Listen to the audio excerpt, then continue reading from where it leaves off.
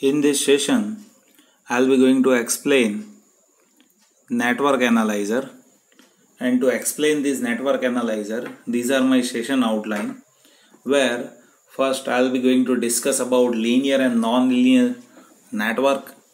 And then for those non-linear and non-linear network we are deal with to utilize network analyzer for few parameters calculation and for that I'll be first explaining block diagram of vector network analyzer.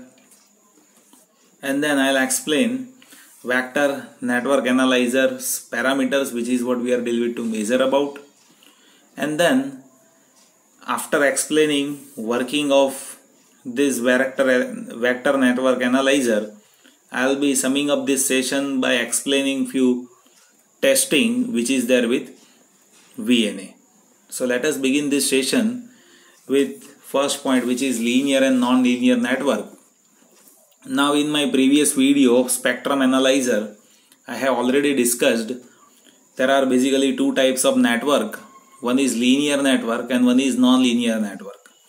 When we talk about linear network, linear network are those network where input and output frequencies are same so when we talk about linear network, at that time its input and output frequency are same. So what happens at inputs output side? So when we analyze linear network, we analyze output signal with with its variation in magnitude and what amount of phase change happens in that. So this is what the basic case which is what we are deal with to analyze with linear network and that could be easily analyzed by using scattering parameter. So S parameter that is what we are deal with to use it to have linear networks characteristics.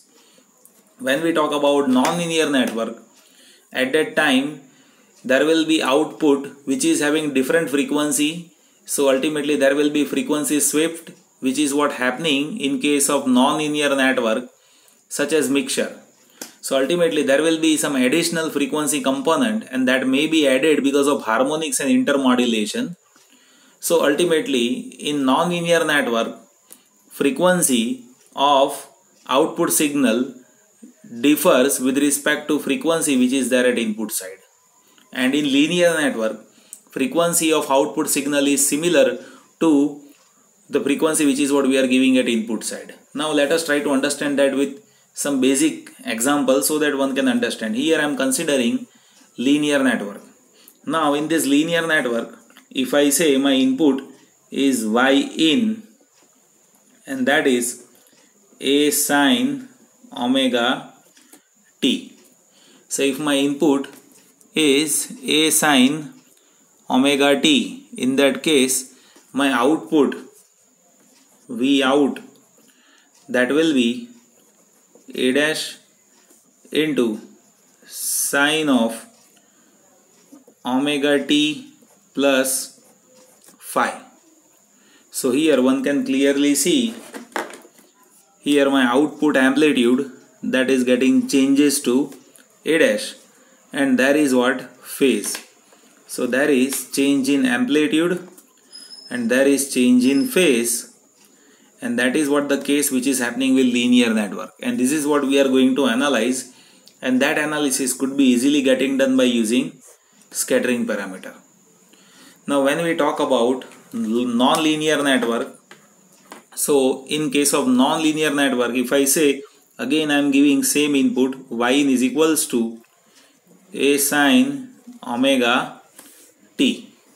Say y in is equals to a sine omega t. My output is having so many different frequencies and that will be different than this. So it could be if I say it is a1 sine omega dash t plus a2 sine omega double dash t plus a3 sine omega t.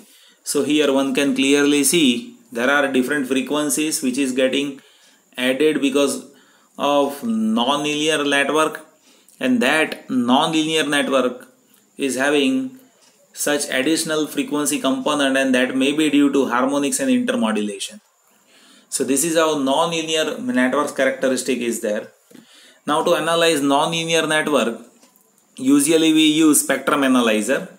But when we talk about linear network, that could be easily understood by having scattering parameter and scattering parameter that we can have based on Vector network analyzer. So for scattering parameter understanding, we'll be going to use Vector network analyzer where what we do is we have any network and at this network we'll be giving one incident signal and what we observe is we see what is the transmitted signal through this circuit or network and how much signal that is getting reflected back from this network this is what we are going to understand. Now when we understand this at a time we usually understands reflected parameters and transmitted parameters. Reflected parameters that we can see based on reflected signal by incident signal and this is what based on power. And when we see transmission parameter at a time we see transmitted signal through this network and incident signal so that is how we calculate reflected parameter and transmitted parameter if you see my microwave series where in case in terms of reflected parameter we have measured VSWR, S11, S22, reflection coefficient, input impedance. So all those parameters, those are reflected parameter which is what we are measuring in linear network. And as if we talk about transmission parameter then we see how much gain is there, how much S12 means transmission of signal from 1 to 2 and 2 to 1 is happening by S21 as well as S12. We see transmission coefficient, we observe phase as well as group delay. So this is what the case which is there with transmission parameter.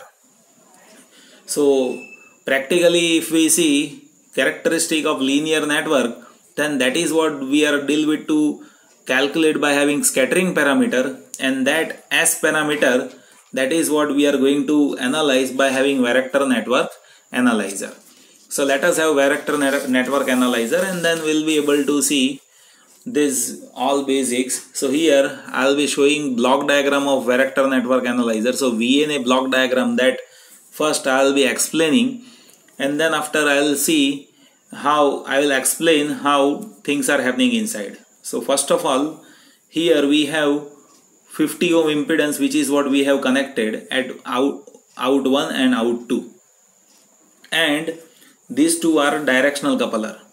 This is directional coupler 1 and this is directional coupler 2 and in between port 1 and port 2 we are connecting DUT DUT means device under a test so device under test that is what we are going to interface in between port 1 and port 2 now the basic construction that is having two components as a directional coupler and we have source which is what one can see over here. So I have one source over here and now by using this vector network analyzer can measure reflection parameter and transmittance parameter.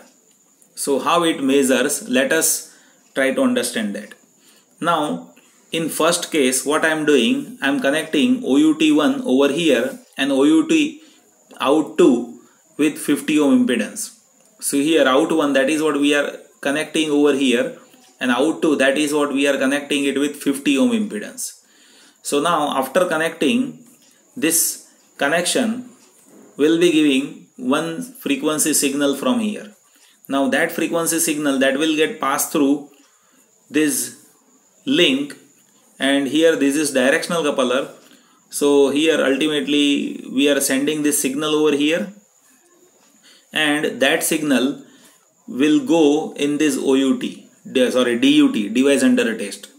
Now whatever signal which is what we are inserting to device under a test partial signal will get reflected back and partial signal will get transmitted so if I say somewhat power let us say power P dash that is getting trans translated through this device under a test and P reflected that is getting reflected back.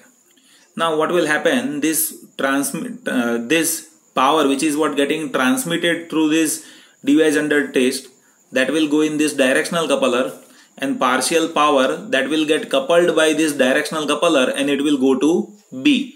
So this B will measure amount of power which is what getting coupled in this directional coupler. And the power which is getting reflected back that will again go back in this direction and again it will go to this directional coupler and fractional power will get coupled to A and which is what we are deal with to measure. So ultimately by A in this circuit connection we are re measuring reflected power and by B in this connection we are measuring transmitted power. So based on reflected power we will be able to calculate S11 that is what reflected power to the incident power. So this is what P reflected by P incident that is what S11 which is what we are calculating in this basic connection and this reflected power that is what we are measuring at A. Now the power which is getting passing through this device under test that is what P dash which is what I am saying right now. Now that power will get coupled to B and B will measure that power. So by this connection what we do is we are observing how much power that is getting transmitted. So here we have been calculating S21 that is what transmitted power which is P dash and divided by P incident power. So here that is how we have been able to calculate V2 S21 that is what transmission uh, scattering parameter and S11 that is what return loss or reflection loss parameter which is what we are calculating by S11. Now if someone is interested to have a calculation of S22 and if I want to calculate what is S12 what I need to do is I'll be switching this switch over here and I'll be connecting OU out 1 to 50 ohm impedance and I'll be doing same process where now signal will pass through in this direction and fractional power that will get transmitted through this device under test and fractional power will get reflected. Reflected power then it will be measured by this b and transmitted power will be measured by a. And by taking a ratio of power one can be able to calculate s22 as well as s12 as we have calculated for this case. So this is how vector network analyzer is functioning and basic construction includes power measurement as well as directional coupler.